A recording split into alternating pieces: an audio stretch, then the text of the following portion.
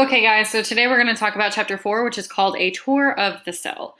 So, this is exactly what it sounds like. We're going to be looking at all of the components or the organelles that make up different types of cells, what they do, things like that. So, fundamental units of life what is that? It's a cell, right? So, these things here are basically part of the cell theory that scientists got together and said, like, this is what identifies a cell as a cell. So, all organisms are made of cells so, in order to be living, you have to be made of the basic fundamental unit of life called the cell. Um, the cell is the simplest collection of matter that can be alive. So, again, the smallest thing that is capable of carrying out all of life's functions, which we talked about previously. All cells are related by their descent from earlier cells, which means that cells come from other cells.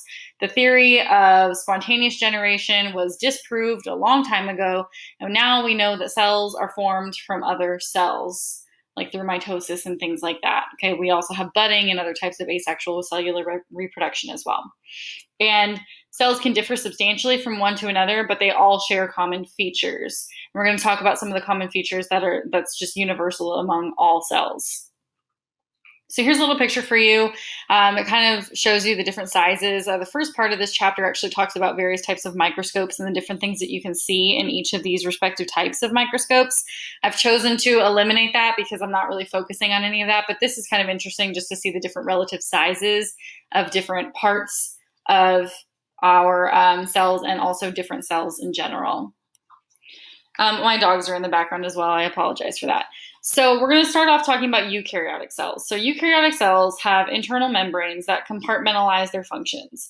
So if you were in my freshman biology class, I explained a eukaryotic cell as like a refrigerator. You don't have your leftover spaghetti just sitting on a shelf. You'd have it in a Tupperware container, and you have your milk in a container, not poured out on the shelf. So you have this giant box of all these little containers. Why? Because you're trying to keep everything separate from one another. You don't want your hot sauce mixing with your milk. That's disgusting. So eukaryotic cells are organized in very much a similar fashion. So they have little membranes around each of their organelles to keep everything separate. Okay, so compartmentalize their functions. It's physically separated, but also their functions are therefore separated. So the basic structural and functional unit of every organism is one of two types of cells. We have our prokaryotic cells and we have our eukaryotic cells. So as I just said, our eukaryotic cells are going to be the ones that are highly organized. Our prokaryotic cells are not. They're pretty empty. They have just a few organelles. They're very, very small, very, very simple. So organisms of the domains bacteria and archaea are prokaryotic cells. Prokaryotic cells are bacteria cells. So archaebacteria and eubacteria are both types of prokaryotic cells. Our protists are fungi, animals, plants. These are all eukaryotic cells. So these are a little bit more complex beings. So the comparison of the two here, we have prokaryotic cells and eukaryotic cells. Those are the only two types of cells. There are no other types of cells. If it is alive, it has to be classified as one of those two things. Basic features of what cells? All cells. If it's a prokaryotic cell, if it's a eukaryotic cell, it's alive, it's a cell, it has these four things has a plasma membrane. How else can we say that? Phospholipid bilayer. How else can we say that? A cell membrane, right? These are just the encasing around the outside of our cells. So think about a water balloon. It is the balloon to the water balloon. It keeps the cell stuff in and the outside stuff out. Okay, it also has a semi-fluid substance called cytosol. Okay, cytosol is like that jelly stuff that kind of holds everything in place. It's like the quote empty space in a cell. It's not exactly empty space, but it's like a clear jelly around all of our organelles. We also have chromosomes or, you know, DNA present in every single cell. If it's alive, it has to have DNA. You also have ribosomes. Ribosomes are really important because what do they do? They make proteins. We know that proteins are our catalysts. They also help to make a lot of structures in our bodies and in cells in general. We need them. So these are the four things that every single thing that is alive and made of cells, because cells are the basic unit of life, have in common these four things. Extremely important that you know that. Okay, prokaryotic cells. Sorry for the little line, don't know what that is. Prokaryotic cells are characterized by having no nucleus, DNA in an unbound region called the nucleoid region, no membrane bound organelles, and cytoplasm bound by a plasma membrane. Because why? The plasma membrane is in what kind of cell? Every single cell right? So if you were in my freshman biology class, you heard me describe prokaryotic cells as PB no no. What does that mean? Prokaryotic, bacteria, no nucleus, no membrane bound organelles. that basically sums up the most important things you need to know about prokaryotic cells. We were talking about bacterial cells. They're extremely small. There is no nucleus. The DNA is floating around in a region called the nucleoid region. It's roughly in the center of the cell.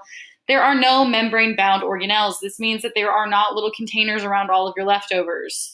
Okay, that's in a eukaryotic cell. A prokaryotic cell really only has like the nucleoid region that has DNA floating around and also cytoplasm and ribosomes. And that's about it. There's not much more to them.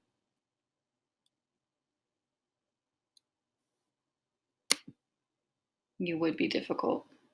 Okay, so here's some pictures. So this is a picture of a bacterial cell. Okay, so you'll see the nucleoid region in the middle kind of has like the free floating DNA. They're rod shaped typically. You also have round ones and some spirochetes that are slightly spiral shaped. They're kind of cool. They're all extremely small. You'll see the uh, 0.5 micrometers there, extremely small. These are all of the components that you'll see here. The fimbriae are just like little, like kind of like cilia in our cells. The nucleoid region are ribosomes, the plasma membrane, which again, plasma me- membrane and ribosomes are in every single type of cell. Cell walls are also present in a lot of bacteria, not all of them, but a lot of them. Um, they also have a capsule for protection um, and then flagella sometimes to help them move. Okay, so eukaryotic cells are characterized by having the following DNA in a nucleus. Great. It's bound by a membrane bound organelle, the nuclear envelope. Okay, it has membrane bound organelles, like we just said. Our eukaryotic cells are like our refrigerators. We put our leftovers in what? Containers. Great, that's a membrane separating it from the one next to it. Eukaryotic cells are exactly the same. Um, and also cytoplasm in the region between the plasma membrane and the nucleus. Again, this is the quote unquote empty space of the cell. Okay, so eukaryotic cells are generally much larger, much more complex, much more compartmentalized than our prokaryotic cells, which are extremely small, extremely primitive. Our plasma membranes.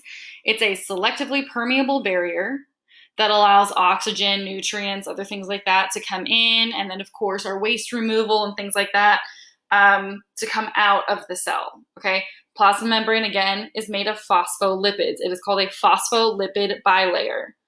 Very important that you know that, okay? Um, phospholipids are some of the most important lipids because they make up every single cellular membrane of every single thing that has ever been alive. Phospholipid bilayer, cell membrane, plasma membrane, same thing. Present in every single cell that has ever been and will ever be. So here's a little bit of a uh, illustration for you, if you will. You have the Outside of the cell surface there, you see a bilayer, which means two layers of phospholipids. They look like a lollipop with two sticks. Remember that the sticks are wiggly because these are unsaturated lipid tails, which means that they have those double double carbon bonds, right? Which allows bending. Why is this important? Because that maintains fluidity, right? Your cells are squishy. A water balloon is squishy. You can pinch your skin and it moves, right? It's because you have these membranes that are fluid, which allow things to come in and come out as a selectively permeable membrane. Okay, you have your hydrophobic, hydrophilic regions. We've been through this before. So our metabolic requirements in our cells set an upper limit on the size of a cell. So basically, as a cell increases in size, you have the outside part, the phospholipid bilayer, that's getting bigger, it's stretching, it's adding more phospholipids to accommodate the size. But then what else is getting bigger? Not the organelles, but all the cytoplasm, the area between the nucleus and the cell membrane, right? This is expanding, it's getting bigger. And as the cell gets bigger, it gets unhealthy because it has all this extra space. And when you're trying to get rid of waste products, it's very inefficient to move them in and out. Same thing with when you're bringing in nutrients or oxygen or water or anything else that the cell might need. Trying to get it around all of this huge mass of cytoplasm, cytosol, is very difficult. So it's now very inefficient and it's a very unhealthy cell. That's why we divide our cells. So there's a special ratio, it's called the surface area to volume ratio, that's very important to make sure that cells are healthy. You want the maximum um, ratio to have the healthiest cells. So let's look at that. Here's an example for you. You have these cubes, okay?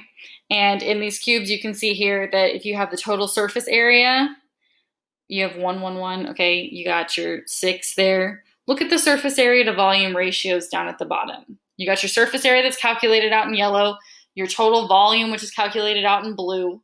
Okay, and then we have the surface area to volume ratio. You want the biggest ones. That's going to be the most healthy cell. Okay, we'll actually do this physically so you can see how much time it takes for something to reach the center of a cube like this in a little bit. Um, so just a view of our cells here. Our eukaryotic cells have internal membranes that help to divide and compartmentalize everything. They're called organelles. We've been talking about this, the leftovers in the refrigerator, the little containers. Congratulations, that is what makes our organelles, right? They are membrane bound because we're talking about eukaryotic cells. Okay, the plasma membrane and organelle membranes participate directly in a cell's metabolism. Okay, all things that are coming into and coming out of a cell are part of the cell's metabolism because they're going to help aid in metabolizing things or be a waste product that resulted from metabolism. So here's another picture of what's going on inside of our eukaryotic cells here. We got all these little different colored things. Ooh, pretty. Okay, great you need to know what all these things do. They all work together. It's like a whole little body in there. There are some organisms that are only made of one cell that looks exactly like this. I mean, not as color coded and everything, but very much like this. And it is a whole little living guy doing its thing. Okay, you're made of trillions of these. We're just cool like that. Okay. Um, here's a plant cell. How do you know it's a plant cell? Well, look at that cell wall. It's also very rigid in structure, also large central vacuole and chloroplasts here's what it actually looks like. So this is like a scanning um, TEM microscope view here. So you can see that you have these slightly less nice looking cells because they're real. Okay, but you can tell that you have like these little elongated cells. You got the little fuzzy parts at the top, which are probably some sort of um, like villi or something like that. And then you have um, your nucleus, which is very, very obvious here. And then the darker nucleolus that's within the center of that right? So even though you can't necessarily see all the little tiny organelles around that, you can tell, hey, what kind of cell is this? This is a eukaryotic cell. Look at that nucleus. That's a nice nucleus. This is a eukaryotic cell because only eukaryotic cells have nuclei. The word literally means true nucleus. Okay? Um, the eukaryotic cells, uh, genetic instructions are housed in the nucleus. Like I said, that's the definition of a eukaryotic cell, and carried out by ribosomes. So the nucleus contains the DNA, most of it. There's a little bit that's not in the DNA, but you know, most of it is inside of the nucleus, inside of our eukaryotic cells. Remember, in a prokaryotic cell, it is inside of the what? The nucleoid region, which is not a nucleus, okay? Um, and then our ribosomes are going to use the information from the DNA to make proteins. That's called protein synthesis. And remember, that involves mRNA, tRNA, rRNA, which is also called a ribosome, okay? So our nucleus is the information central. Why? Because that's where the DNA is. It is your genetic blueprint. It's what makes you you. It is the directions to create you. Okay, so the nucleus contains our cell's genes. Okay, it's a very large organelle. It's very easy to find in our eukaryotic cells. All right, the nuclear envelope encloses the nucleus, surrounds it okay, which separates it. Again, remember compartmentalization. We are in a little Tupperware container over here called the nucleus. That's where the DNA is held. It separates it from the cytoplasm. So the DNA is not in the cytoplasm.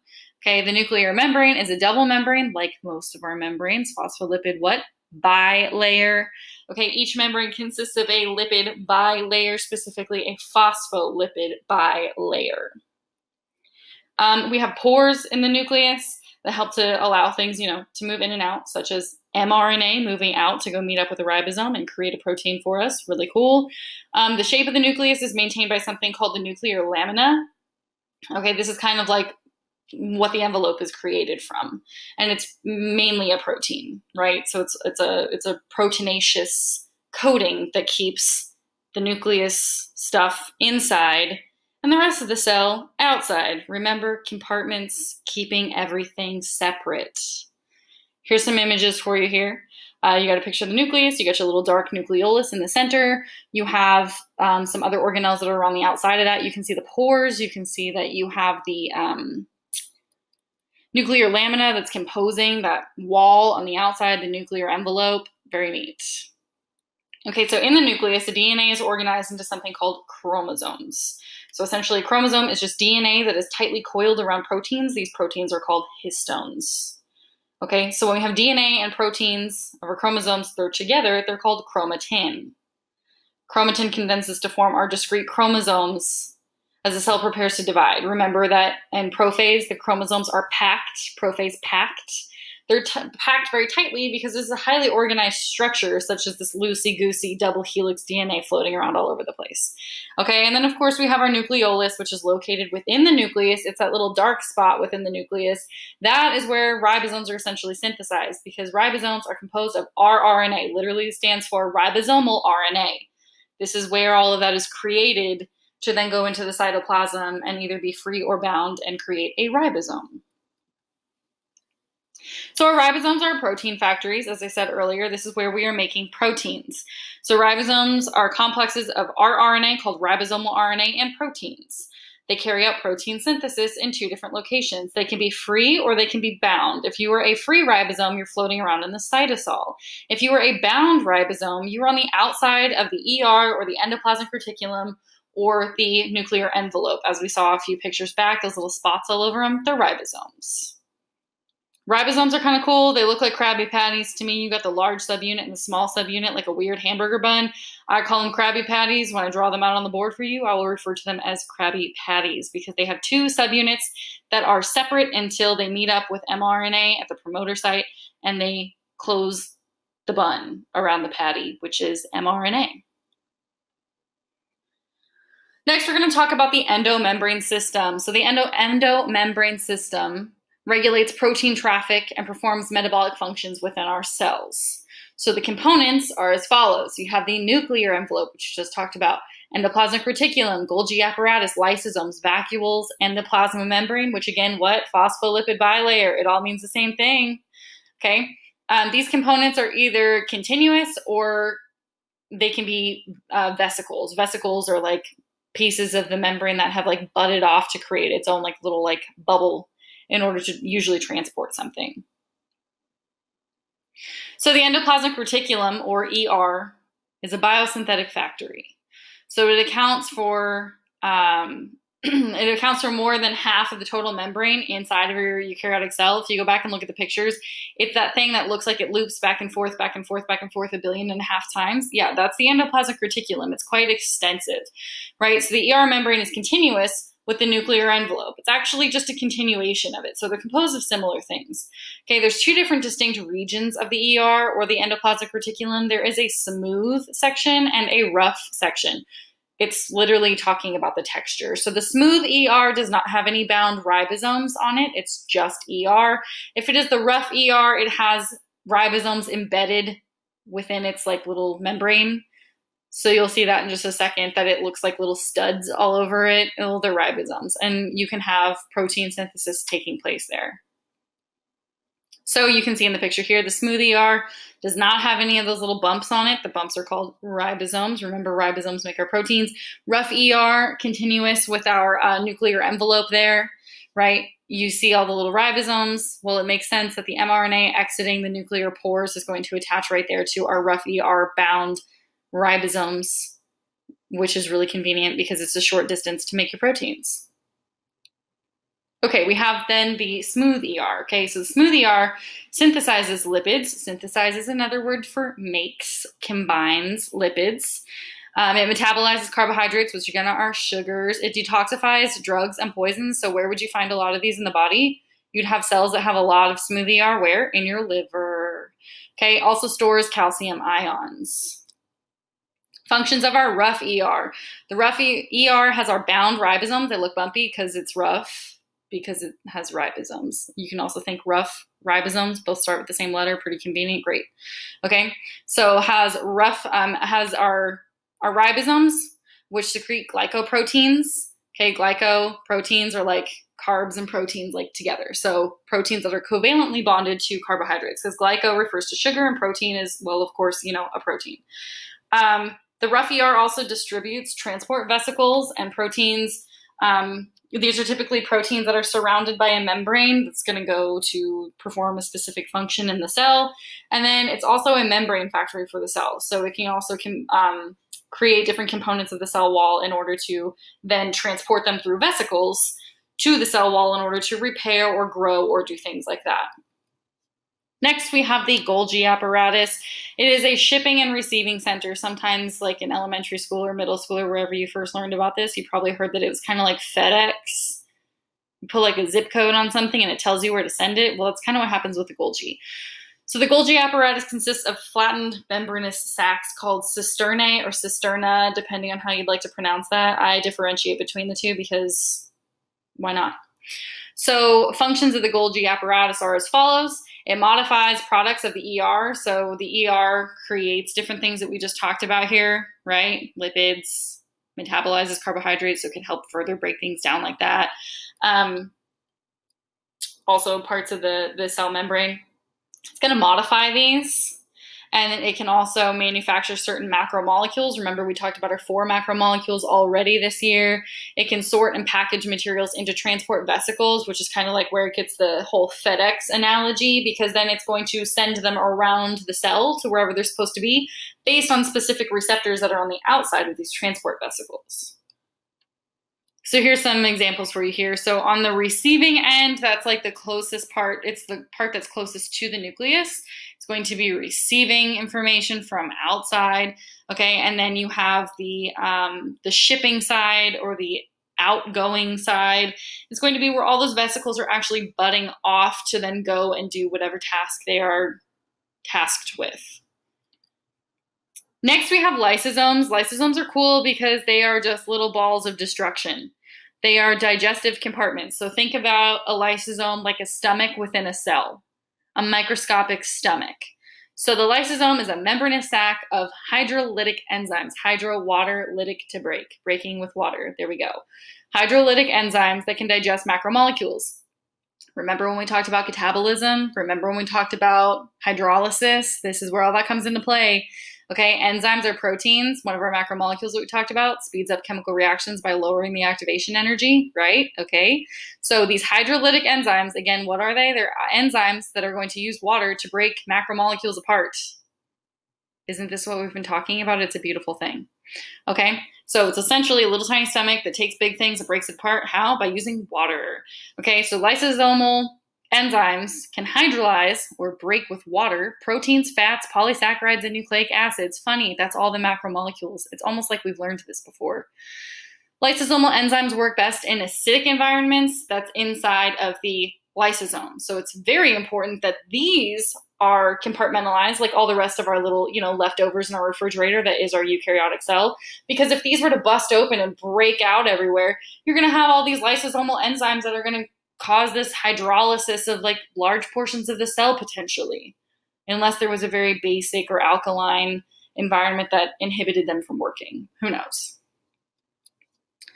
Um, this is really an important thing for our phagocytic cells. So some of our cells can engulf other cells through a process called phagocytosis. Okay, um, this is basically cellular eating. It's like the the normal people way of saying that. Cellular eating.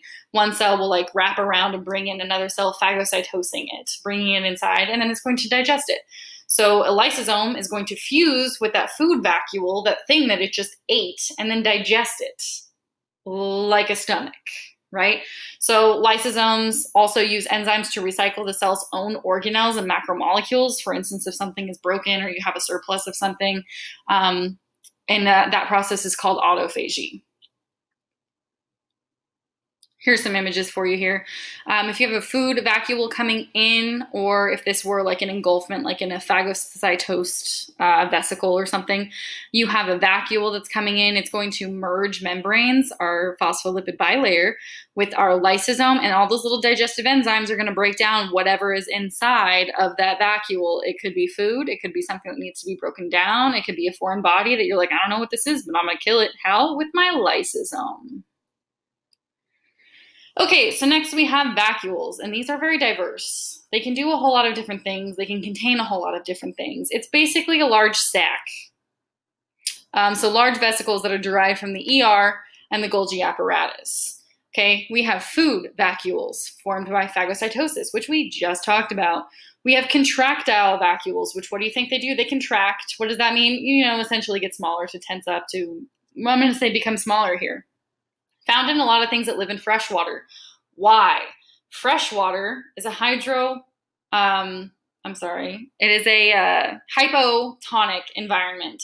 Hypo, hip O, big fat O. The cells are going to swell because water is rushing into those cells. But if you have a contractile vacuole, all that excess water is going to be stored in a contractile vacuole, and then it's going to be shot back out of the cell. It's going to be squeezed back out like a big pump. And some cells use this to move, which is pretty cool. Like a little tiny, like, motor on the back of the cell. Okay, you also have central vacuoles, which you've heard about in plants, stores water and other organic compounds. Remember, organic means carbon and hydrogen containing compounds. And we also have other vacuoles that carry out various functions like enzymatic um, hydrolysis, like lysosomes that are present in some plants and some fungi. Here's a picture of some vacuoles for you. Very, very familiar with our central vacuole found in plant cells. So a review of our endomembrane system, endo internal membrane, you know, membrane, talking about like phospholipids and things. The endomembrane system is a complex and dynamic player in the cell's compartmentalization or organization. Like I said, eukaryotic cells is like a giant refrigerator. You got all your stuff in different compartments.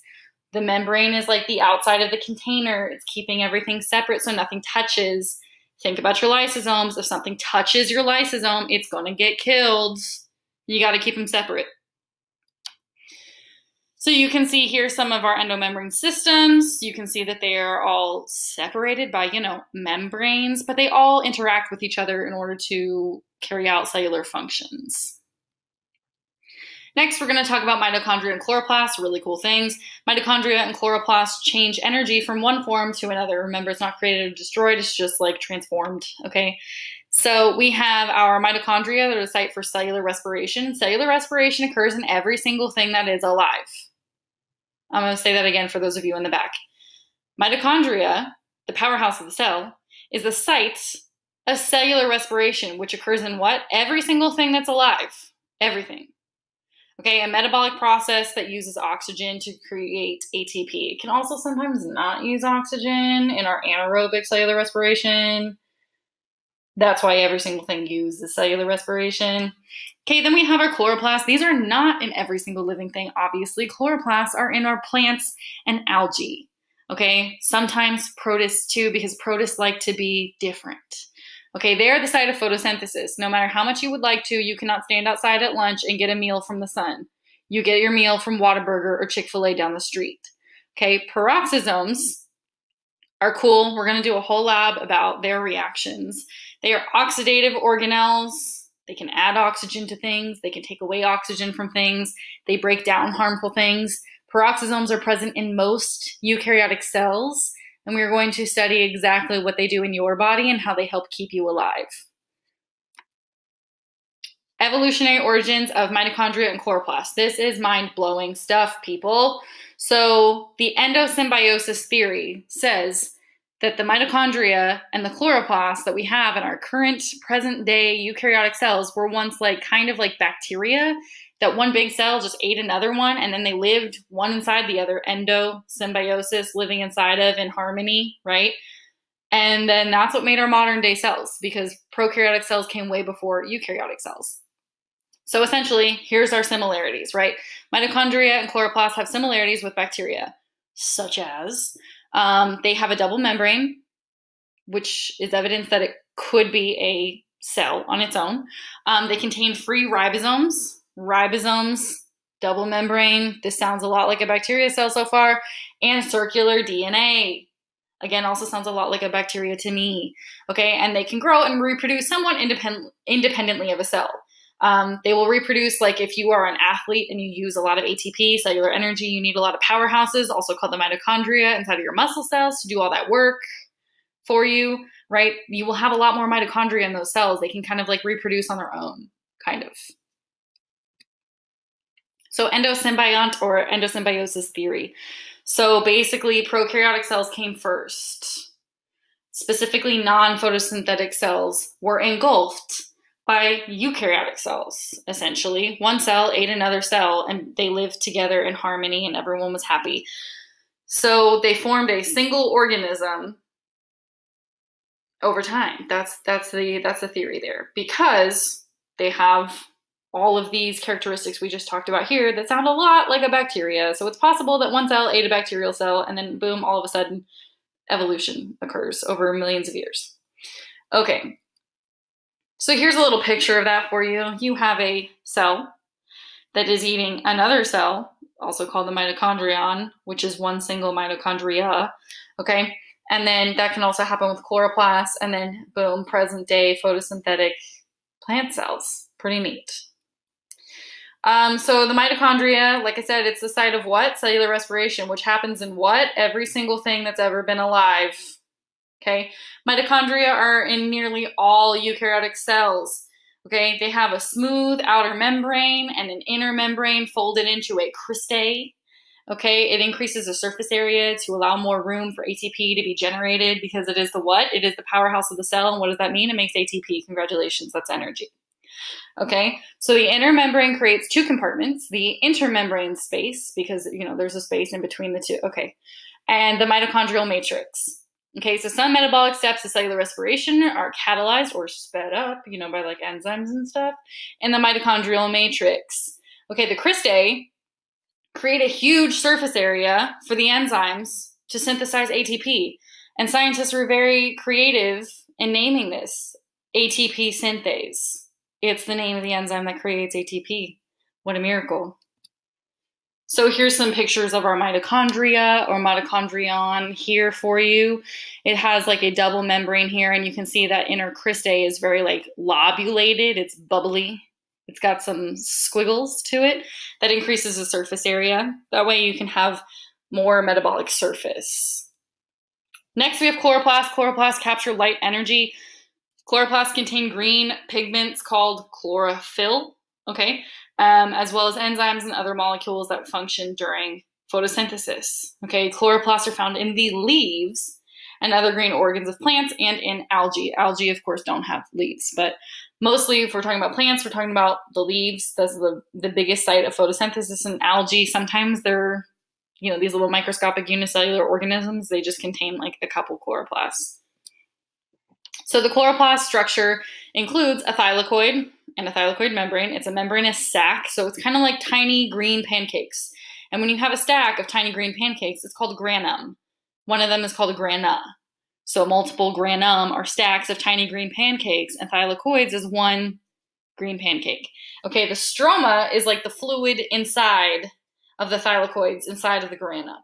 Okay, um, the chloroplast the chloroplast is one of the one of a plant's organelles that's known as a plastid. That's kind of like the class name that's given to them. Okay. Um, so here's kind of what I'm talking about tiny green pancakes. Here we go. All right, so if you have one of them, it's one pancake. If you have a stack of pancakes, it's called a granut. If you have multiple stacks of, oh, I'm sorry, I just flipped that on you. It's a granum if it's one stack, and it's a grana if it's multiple stacks of pancakes. Okay, um, you have little ribosomes there that are happening because those are involved in what? Protein synthesis.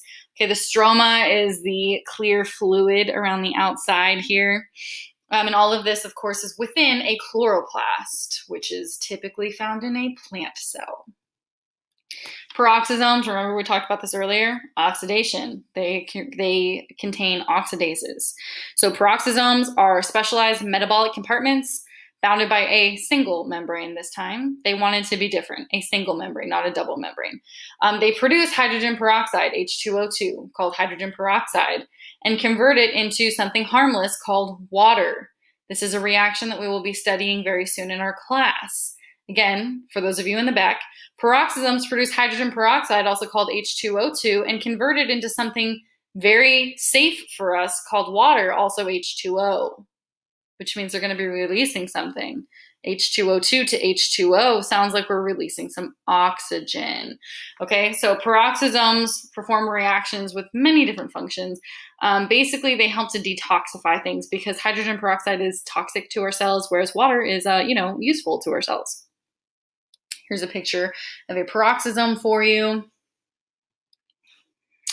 The cytoskeleton is the next thing that we're going to be talking about. This is kind of like your skeleton gives you structure and support and shape, and that's essentially what the cytoskeleton network does inside of our cells.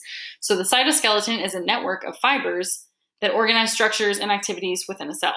So the cytoskeleton is a network of fibers extending throughout the cytoplasm. Again, that's like the clear area between the nucleus and the plasma membrane.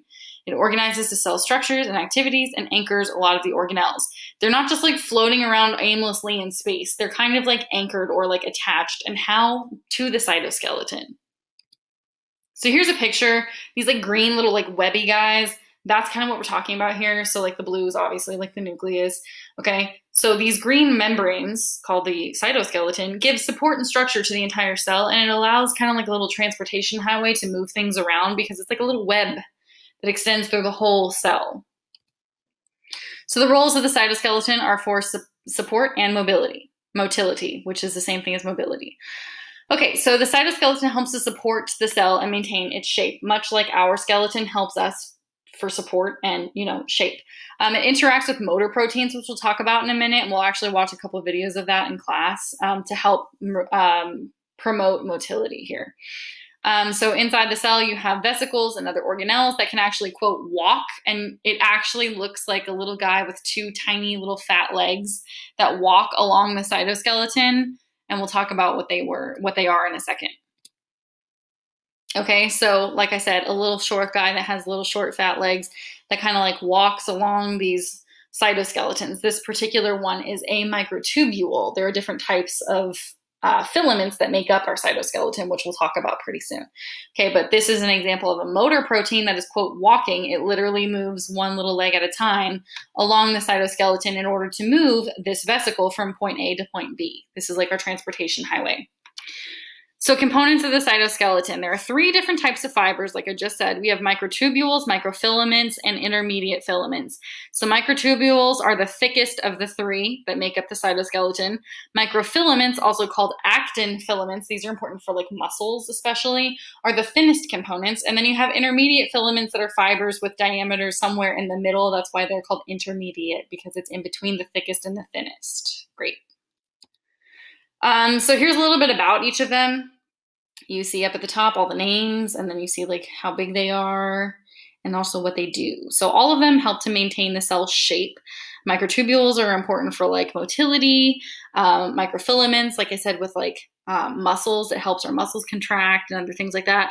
Intermediate filaments are going to be used to like anchor things and the formation of the nuclear lamina, which is like the nuclear envelope that we talked about earlier. It's a membrane on the outside of the nucleus that keeps the nucleus separate from the rest of the cell. Microtubules, remember that these are the fat ones. Um, these are hollow rods. They're hollow. It's really interesting that they're hollow, actually. Um, constructed from globular protein dimers called tubulin. What's a dimer? Di means, hopefully you just said two, and mer means, hopefully you just said piece. So two, a protein that has two pieces is called tubulin. Tubulin, two, p. Okay, cool.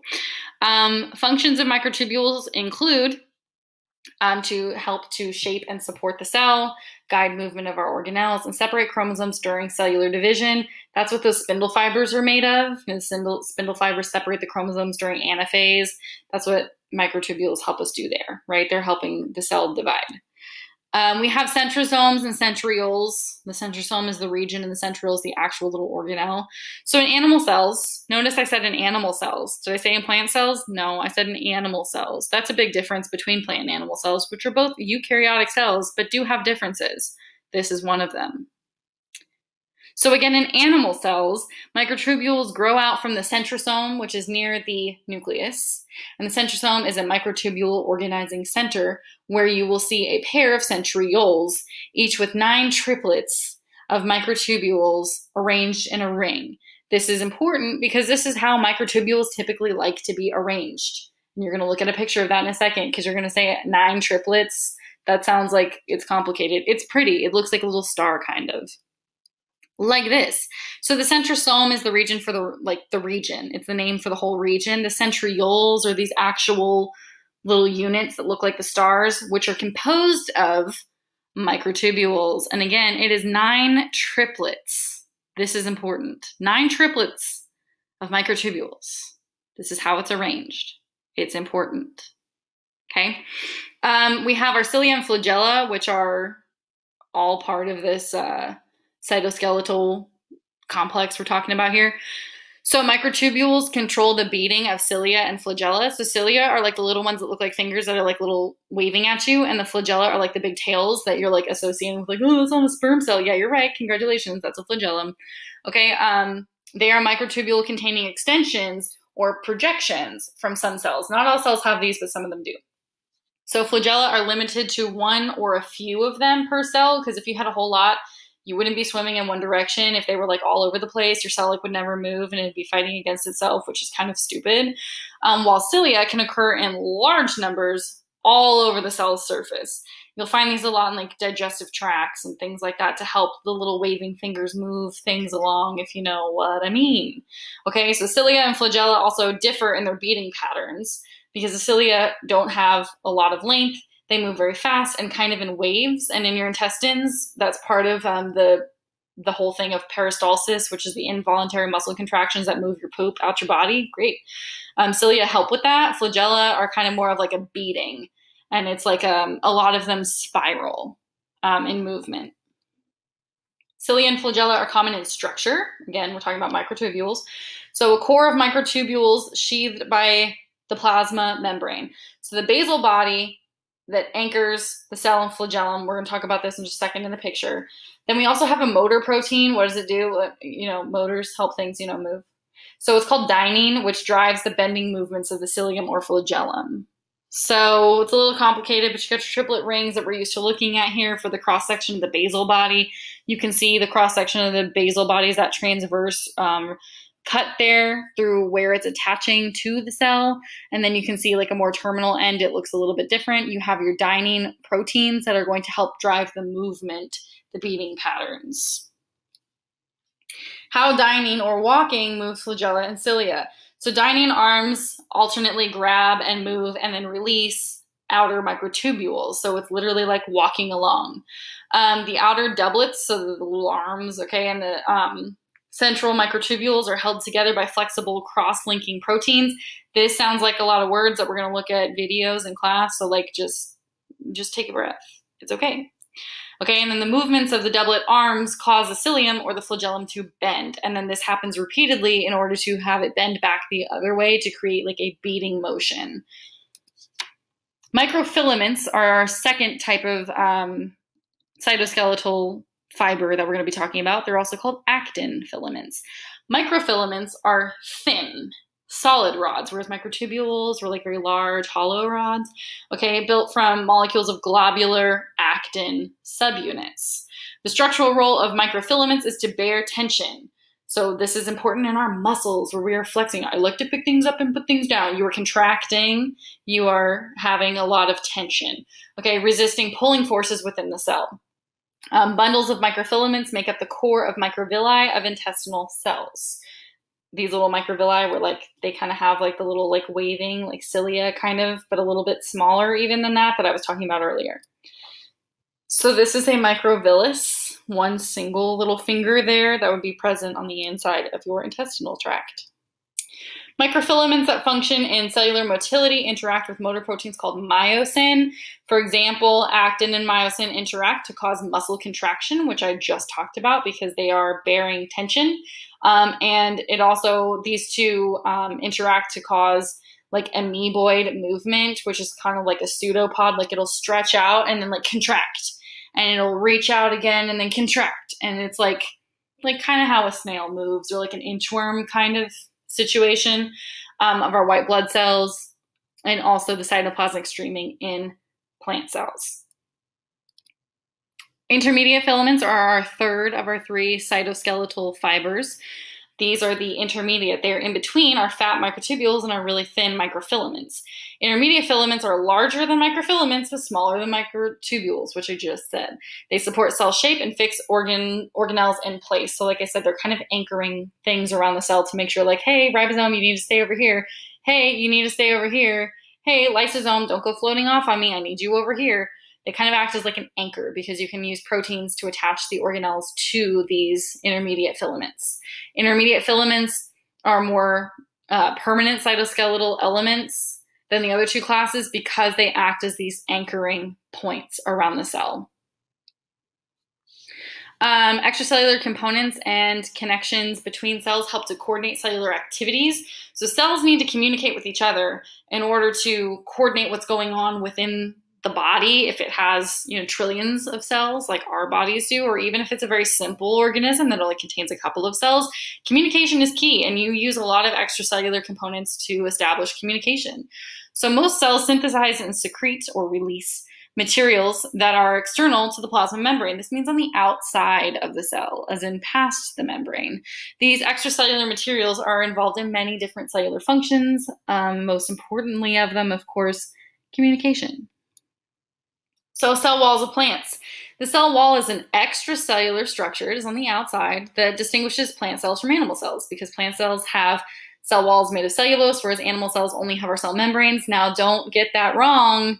Plant cells still have a cell membrane. Please do not ever tell me that a cell does not have a cell membrane because every single cell has a cell membrane. We learned that at the beginning of this. It's been a minute, but it's still a fact. Prokaryotes, fungi, and some protists also have cell walls. Prokaryotes typically have cell walls that are composed of peptidoglycan. It sounds like pet the dog I can, but it's pronounced peptidoglycan. Fungi says spelled like chitin, pronounced like chitin. That is the cell wall component of a fungus. Some protists, protists are weird. They have cellulose, they have peptidoglycan in some of them, they have chitin in some of them. They're kind of the gray area of science that nobody really likes. Protists. They all have cell walls though. Not every single protist, but these examples I just gave. Um, the cell wall helps to protect the plant cell. It maintains its shape. It also helps to prevent an up uh, like excess amount of water because if you have too much water in the cell, remember it will break, it will pop open.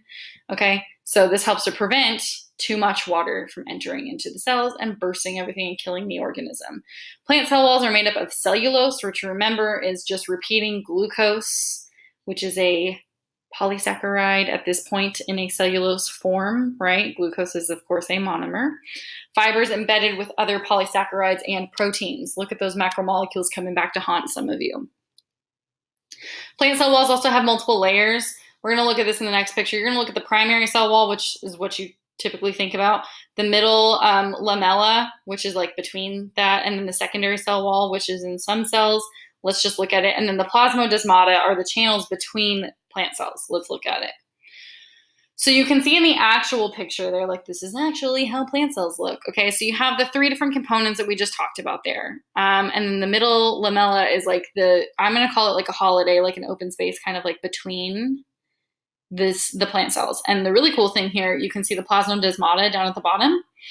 Um, they're like little channels, like little fingers that connect the cytoplasm of all of these different plant cells. And this allows for cellular communication because they can easily move materials back and forth between them, um, which is really interesting. So that's plasmodesmata. Um, the extracellular matrix of animal cells is a little bit different. So we just talked about it in plants. So animal cells lack cell walls, of course, but they do have, of course, a phospholipid bilayer because every cell has a phospholipid bilayer, right? Right. So animal cells lack a cell wall but are covered by an elaborate extracellular matrix. So the extracellular matrix is made up of glycoproteins, which we talked about earlier. Earlier, glyco, sugar, protein, you know, protein, such as collagen, which is the most abundant protein in your body, um, proteoglycans, and um, fibronectin. So all of these are different components that are present on the outside of different cells to help with cellular communication and things like that. Um, we also have extracellular uh, matrix proteins that bind to receptor proteins in the plasma membrane called integrins. Um, these are things that are integrated within the plasma membrane that help to interact between the internal and external um, sides of your cell. So if you look here, you can see the plasma membrane. You can see that you have some embedded proteins here. They look like kind of like weird butterflies, if you will. Those are your integrins. Um, they they can communicate with the interior and exterior surfaces of the cell membrane, so of the cell. Um, we have cell junctions. So neighboring cells in an animal or plant cell often adhere or interact and communicate with each other through physical contact, so direct touch of the cells. There's different types of intracellular junctions that can um, help to establish this communication. Plasmodesmata, which we looked at earlier, and then we also have something called tight junctions, uh, desmosomes, and gap junctions, more common in animals. Plasmodesmata are channels that um, perforate plant cell walls, like we saw a couple cells by, uh, cells, a couple slides back. That's where the cytoplasm was connected. It looks like little fingers through the cytoplasm. It goes straight through the cell wall to connect the um, cells together. Through plasmodesmata, water and small solutes, so things that um, you know, are not other liquids. They're like small molecules. Sometimes proteins, RNA, things like that can pass from cell to cell very easily. Um, then we also have tight junctions and desmosomes and gap junctions in our animal cells. So again, animal cells, plant cells, differences here. Pay attention to the differences. Animal cells have three main types of cell junctions, which I just listed for you, and all of them are common in your epithelial tissues. Epithelial tissues line, line the outer parts of your body.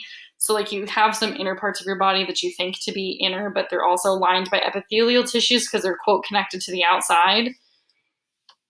Um, and here's some pictures of what we're talking about here. So tight junctions um, prevent fluid from moving across a layer of cells. Um, you can see the uh, plasma membranes that are adjacent to each other.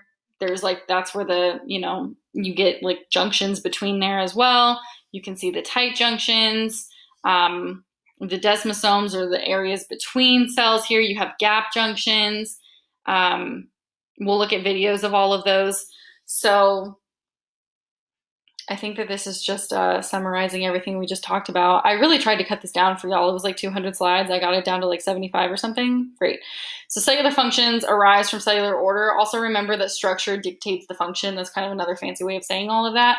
So the cell has all this stuff going on inside of it, and it's kind of like its own little little person. Like it's a, its own little organism right? All these organelles just like you have organs to help support your growth and development and you know life in general. Cells have all of these little intracellular parts that help to maintain their lives and homeostasis and all of that as well.